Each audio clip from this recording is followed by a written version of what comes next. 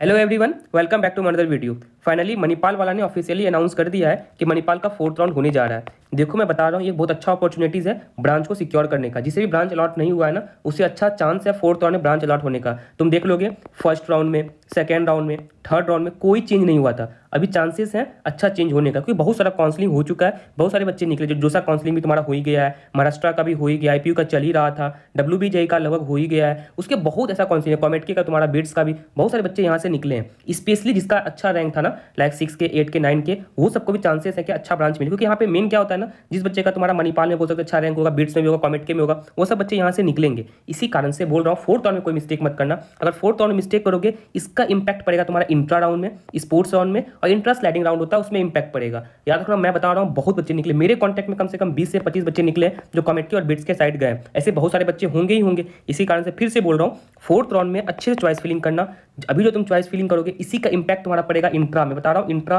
Sport और intra sliding round जो होता है, पूरा इंपैक्ट उस पर ही पड़ेगा। याद रखना मेन कैंपस में बहुत सारा सीट तुम्हारा खाली हुआ है बैंगलोर कैंपस में खाली हुआ है। फाइट तुम्हारा किसके, दो कैंपस के बीच में था तुम्हारा, मणिपाल मेन कैंपस और बैंगलोर कैंपस यहाँ पे बहुत सीट वैकेंट हुआ होगा। रीजन ये है ना, ये दो कैंपस में ना कोई डायरेक्ट एडमिशन नहीं होता, अगर कोई करवा रहा है, मानो तुम्हारे साथ स्कैम कर रहा है। ठीक है, ये दो कैंपस है ना, मणिपाल, बैंगलोर और तुम्हारा मणिपाल मेन कैंपस में डायरेक्ट एडमिशन नहीं होता। ये दो में बहुत सीट खाली हुआ, किसी का अगर ड्रीम कॉलेज था तो वो मिल सकता है। मैं बता दूँगा चॉइस फिलिंग कैसे करना है, सबसे इंपॉर्टेंट चॉइस फिलिंग ही होता है। क्योंकि देखो, अच्छे से चॉइस फिलिंग करोगे तो याद रखना होता है ना, ये फ़र्स्ट ईयर तक तुम्हारा ब्रांच अपग्रेडेशन होता है। इसी कारण से ऐसा कोई मिस्टेक मत करना। अगर किसी बच्चे को ट्रिपल ही मिल रहा है, अगर वो चाह रहा है कि फ़र्स्ट ईयर में मेहनत करूँ, उसके रिगार्डिंग वीडियो बना हुआ ब्रांच चेंज कैसे होता है वो तुम देख लेना।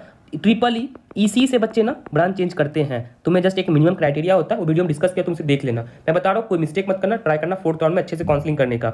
मेन कैंपस और बैंगलोर कैंपस में बहुत सीट वैकेंट हुआ होगा बट जयपुर कैंपस में चांसेस कमी है कि सीट वैकेंट हुआ होगा, क्योंकि रीजन ये है ना जयपुर कैंपस हो गया और सिक्किम कैंपस दोनों में डायरेक्ट एडमिशन भी होता है, इसी कारण चांसेस कम है बट यहाँ भी सीट खाली हुआ होगा। किसी बच्चा को अगर ए मिला होगा तो चांसेस हैं क्या उसे कोर्स सी मिल जाए फोर्थ राउंड में। ठीक है? सही समझ में आ गया होगा। और जिस बच्चे को मेरा पर्सनल काउंसलिंग गाइडेंस जुड़ना होगा डिस्क्रिप्शन में फॉर्म होगा फॉर्म को फिल करो। मैं अभी से लेकर के फ़र्स्ट ईयर तक तुम्हारे साथ हूँ। कंप्लीट डिस्कशन करूँगा। और मैं फिफ्टी परसेंट ऑफ़ कर दिया हूँ अभी। ठीक है? तुम जाकर चेक कर लो। कंप्लीट तुम्हारा इंटरेस्ट देखूँगा। इंटरेस्ट के बेसिस पे तुम्हारा ब्रांच सिलेक्शन करूँगा। स्ट्रेटेजिक ब्रांच सिलेक्शन एक स्ट्रेटेजी बताऊँ, कैसे करना है? इसका तुम्हारा बेनिफिट इंट्रा राउंड में स्पोर्ट्स राउंड में इंट्रा स्लाइडिंग राउंड होता है। क्योंकि देखो ब्रांच अपग्रेडेशन तुम्हारा फ़र्स्ट ईयर तक होता है। मैं कंप्लीट बताऊँगा एक अच्छी स्ट्रेटेजी के साथ ब्रांच चेंज करूँगा। जिससे तुम्हारा बेनिफिट हो एट द एंड तुम्हारा।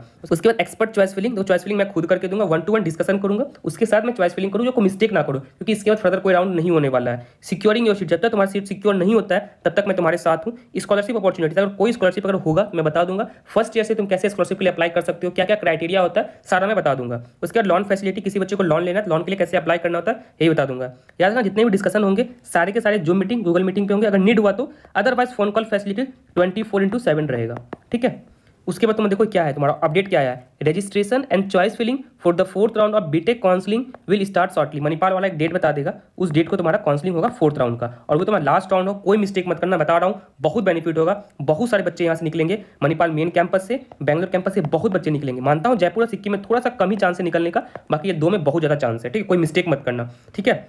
शायद यहाँ पे समझ में आ गया होगा, तुम्हारा फोर्थ राउंड होने वाला है। बाकी कोई भी अपडेट आता है, मैं ट्राई करूँगा अपडेट कर देने का। और याद रखना मैं डेटा कलेक्ट किया हूँ लाइक डेटा साइंस का। ए आई कौन कौन सी कंपनी आई है? देखो, मैं इसलिए नहीं बताऊँगा कंपनी तुम्हारा पच्चीस लाख कर दी है, तीस लाख की पैकेज दी है, मैं ये नहीं बताना चाहता हूँ। बस मैं ये बताऊँगा डेटा साइंस के लिए कौन कौन सी कंपनी आई है? तुम उस कंपनी पे अगर तुम मणिपाल मेन कैंपस अगर तुम या बैंगलोर कैंपस प्लेसमेंट ओरिएंटेड जा रहे हो एटलीस्ट ये आइडिया होना चाहिए कौन कौन सी कंपनी आ रही कौन कौन सी कंपनी नहीं आ रही है, उसके रिगार्डिंग एज सुन वीडियो बना दूँगा। बस मैं इतना रिक्वेस्ट कर रहा हूँ लगता है मेरा वीडियो इन्फॉर्मेटिव है टाइम पे मैं अपडेट कर रहा हूँ प्लीज़ चैनल सब्सक्राइब करना ट्राई करना वीडियो को लाइक करने का। और मुझे कमेंट सेक्शन में बताना, अगला वीडियो किस टॉपिक पर चाहिए इसके रिगार्डिंग कमेंट देखो ट्राई करूँगा वीडियो बना देने का।